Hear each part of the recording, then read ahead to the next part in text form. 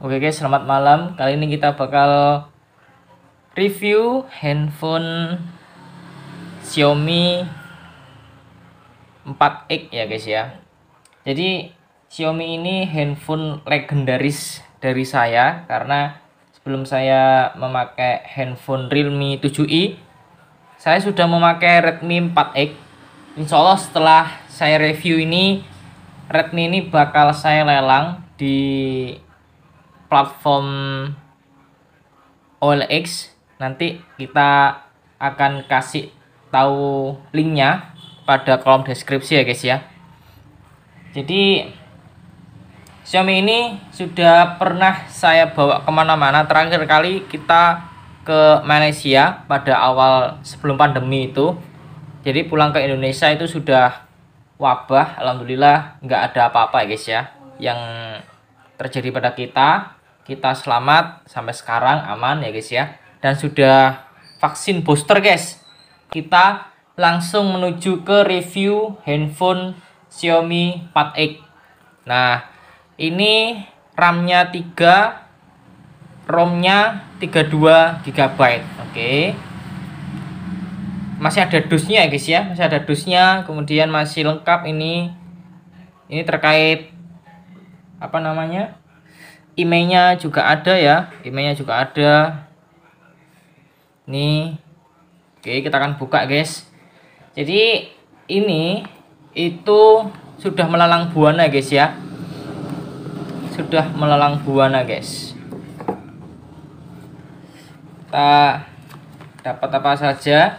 Ini ada garansi tapi sudah mati ya guys ya garansinya ini ada pembayarannya. Saya belinya di Plaza Marina waktu itu guys. Plaza Marina lantai 2 Blok H283 nama tokonya Mobile Shop. Oke. Surabaya 18 bulan 7 2017 wow. Redmi 4X 332 nah, ini ada tempered anti cracknya juga Waktu itu kita belinya 1,775.000, 1 juta 775.000 guys. Waktu itu guys. Kalau sekarang ya sudah sudah turun ya guys ya. Jadi kita belinya di Plaza Marina, tempatnya di Mobile Shop. Oke, ini ada garansinya. Sebentar. Ini belum saya ambil ya. Apa namanya? Um, chargernya ya guys. Ini ada pena sim card. Nanti kita ambil dulu chargernya ya guys ya. Oke guys ya kita sudah ambil chargernya ini ini dari Xiaomi nya langsung ya. Kalau saya pribadi ketika saya beli handphone itu saya sudah memakai charger aslinya karena sudah disetting oleh pabriknya bahwasanya user harus memakai charging aslinya guys. Ya seperti ini. Ini Xiaomi ya guys ya. Nah, oke okay. Xiaomi. Untuk kepalanya seperti ini guys. Ini mereknya Broco ya guys ya. Tuh kan Broco. Ya saya suka memakai produknya dari Broco guys. Nah kita tinggal colokan gini kemudian ditancapkan ini juga Xiaomi ya guys ya. Masih tipe lama guys. Bukan tipe C masih tipe lama ini ya. Kelihatan nggak? Nggak kelihatan ya guys ya. Oke nggak masalah. Kita asingkan dulu guys. Kabel-kabelnya kemudian ini yang kita asingkan dulu guys. Oke kita akan lihat. Ini Xiaomi. Ada fingerprint kamera belakang kemudian ada senternya juga atau flashlight dan ada kamera depannya juga. Ini speaker. Ini ada headset ini ngeblur ya guys ya. Oke. Blur ya guys ya. Ini tempat chargernya. Oke. Ini speakernya guys. Ini sudah pernah ganti baterai sudah pernah ganti LCD kemarin pas waktu kita ke Malaysia sempat saya kepleset terjatuh di apa namanya tangga mau turun guys. Jadi waktu itu kita mau keluar dari tempat kos menuju ke ke supermarket beli barang sehari-hari. Nah itu kita mau berangkat kita terpleset guys. Waktu itu memang habis hujan ya guys ya. Jadi ini sudah pernah ganti LCD sudah saya kasih tempel gelasnya juga makanya ini tempel gelasnya hitam. Kita coba untuk menghidupkannya guys ya. Oke ini handphonenya sudah hidup ya guys ya. Oke mantap kita lihat spesifikasinya di setelan tentang ponsel. Nah ini guys ya. Nama perangkat Redmi 4X versi Androidnya masih 7 ya guys ya. Masih 7 kemudian CPU nya octa-core maksimal 1,40 GHz RAM nya 3 penyimpanan internalnya 32 Oke status baterainya masih bagus. Baterainya tinggal 86% emailnya juga masih sama ya guys ya. Oke. Kemudian apa lagi ya? Ada bluetooth wifi kemudian ada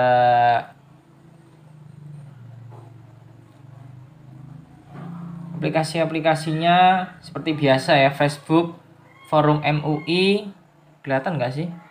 Kelihatan ya. Ada Facebook forum MUI ada ShareMe kemudian ada MI komunitas kemudian ada ya sudah sih aplikasi tambahan seperti ini guys ya. Google TV Gmail YouTube. Aplikasi ini bisa dibuat main Mobile Legend cuma ya mohon maaf ya untuk framenya tidak bisa yang tinggi. Cuma kembali lagi saya handphone ini kalau yang RAM-nya 3 kemudian 32 tidak saya terlalu paksakan untuk bermain game ya guys ya. Hanya sekedar WhatsApp kemudian ngerjakan tugas dari perkuliahan guys. Kemudian kameranya juga masih bagus ya guys ya. Seperti ini. Nanti saya akan kasih tahu lah kameranya ini gimana guys. Nah ini guys ya. Hasil-hasilnya. Nah ini ya hasil-hasilnya guys. Ini foto video. Saya lebih suka nge dokumentasi tumbuhan-tumbuhan guys. Karena di pekarangan rumah saya itu banyak sekali tumbuh-tumbuhan. Ini sepeda motor saya guys. Revo. Ini sepeda ontel.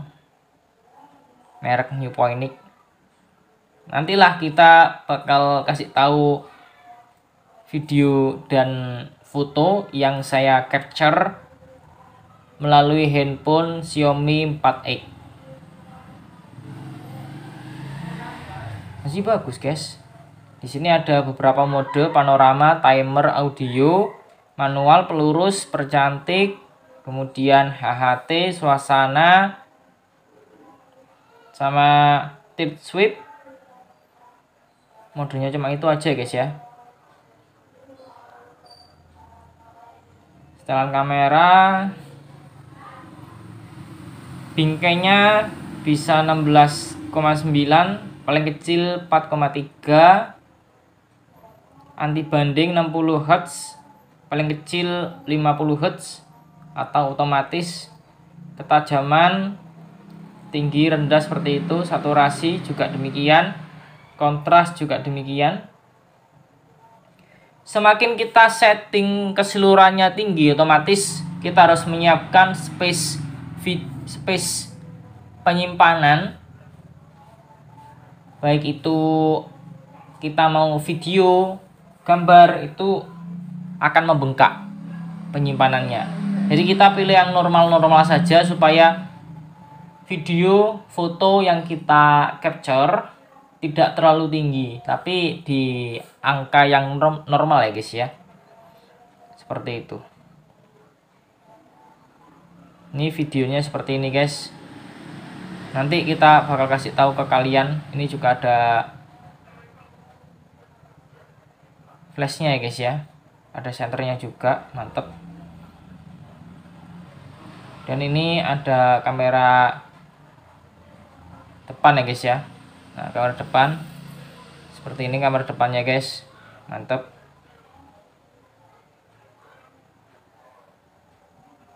mungkin itu guys ya yang bisa kita utarakan terkait handphone Xiaomi 4X jadi ini handphone legendaris saya tambahan ya guys ya. Ada fitur yang belum kita sampaikan ke kalian. Ini yang ada di sini guys ya. Di sini ada apa ini? Ada wifi ada center ya ada center ada hening ada berdering. Oke ada screenshot ada bluetooth ada kecerahan otomatis. Nah ini kita bisa terangkan bisa gelapkan ya guys ya. Tuh. Ada mode pesawat, ada GPS, layar kunci, rotasi, mode baca,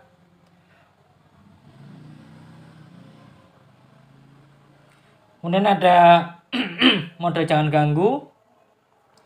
Ada penghemat baterai. Ada mode wireless display ya guys ya. Tuh your phone to use wireless display guys. Mantap ini guys. Ini ada rekam layar ada getar. Jadi getar sendiri dering sendiri sunyi sendiri guys.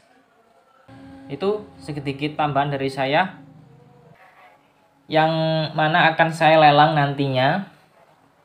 Jadi nanti bakal ada link OLX kalian bisa melakukan penawaran di situ. Mudah-mudahan review kita kali ini bisa menyenangkan ya guys ya. Dan juga bisa menarik kalian. Sampai jumpa. Kita bakal ketemu lagi di review produk selanjutnya ya guys ya. Bye bye